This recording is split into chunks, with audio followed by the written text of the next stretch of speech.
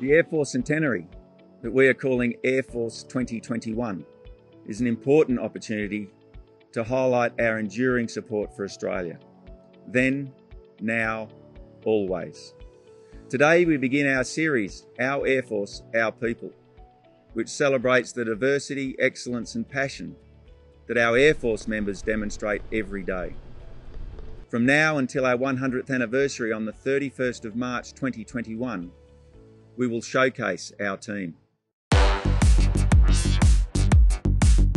I'm Flight Lieutenant Matt Holecek, go by a call sign Checkers. I'm currently at 2OCU as an instructor pilot.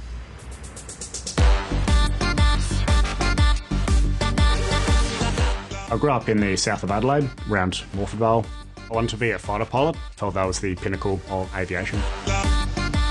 Been in the Air Force for 10 years, so I joined when I was 17.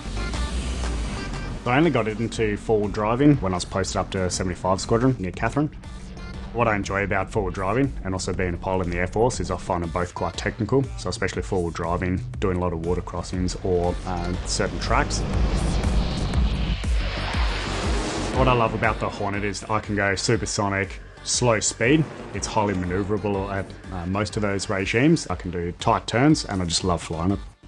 I'm actually quite excited about the 100th anniversary.